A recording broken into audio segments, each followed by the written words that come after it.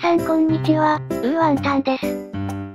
以前、ヤクルトがパワメジャ2009でどんな結果を出すか、という動画を出した際、使った選手の能力を見たいというコメントをいただいたので、お見せしようと思います。